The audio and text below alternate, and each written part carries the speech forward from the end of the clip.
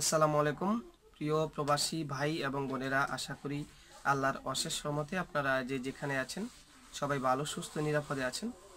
আসলে ছোট্ট একটি বিষয়ের ওপর কথা বলার জন্য আর আপনাদেরকে সতর্ক করার জন্য ভিডিওটি তৈরি করা। তো প্রথম থেকে শেষ পর্যন্ত আমাদের সাথেই থাকবেন।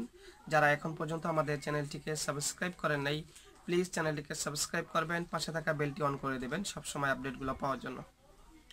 তো আপনারা সবাই জানেন সৌদি আরব সহ বিশ্বের যে কোনো কান্ট্রিতে বিশেষ করে বেশিরভাগ কান্ট্রিগুলোতেই আপনার প্রবেশ করার জন্য করোনা সনদপত্র লাগবে বা করোনার যে সার্টিফিকেট সেটা লাগবে।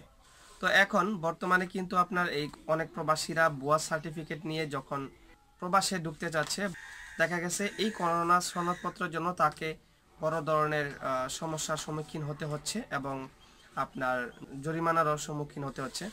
তো আসলে দেখেন আপনারা যারা বর্তমানে ছুটিতে আছেন বাংলাদেশে, অথবা আপনারা যারা নতুন বিষয় নিয়ে সৌদি আরবে ঢুকবেন, আপনারা একটু সতর্ক হবেন এবং আপনারা যখন সৌদি আরবে ঢুকবেন বা অন্য কোনো কান্ট্রিতে আপনারা ঢুকবেন, যে সকল প্রবাসী ভাইয়েরা আছেন বা বোনেরা আছেন, অবশ্যই আপনাদের যে করোনার সার্টিফিকেট বা করোনার যে সনদপত্র, সেটা আপনাদের অরিজিনাল কিনা, সেটা অবশ্যই যাচাই করবেন। আর বিশেষ করে যে সকল মেডিকেলগুলাতে বা কেন্দ্রগুলাতে আপনার সরকার অনুমোদিত, যেখানে করোনার সার্টিফিকেট ভ্যালিড বা অরিজিনাল সার্টিফিকেট দেওয়া হয়, সেখান থেকেই আপনাদের যে টেস্টিংটা সেটা করিয়ে নেবেন।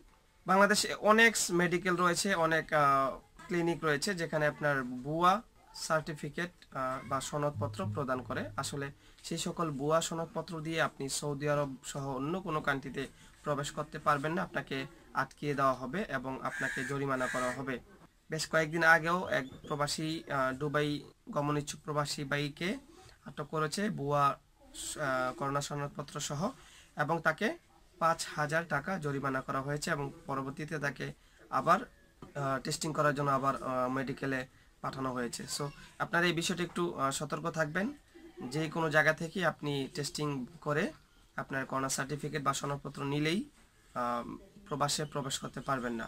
অবশ্যই সরকারি অনুমোদিত হতে হবে এবং সনদপত্রটা সঠিক হতে হবে। বুয়া সনদপত্র দিয়ে আপনি ঢুকতে পারবেন না। আশা করি কথাগুলো বুঝতে পারছেন। তো এই বিষয়টা অন্তত সতর্ক থাকবেন। তো আজকে এই পর্যন্ত সবাই ভালো থাকবেন, সুস্থ থাকবেন। দেখা হবে কোনো নেক্সট টিউটালে আল্লাহ হাফেজ।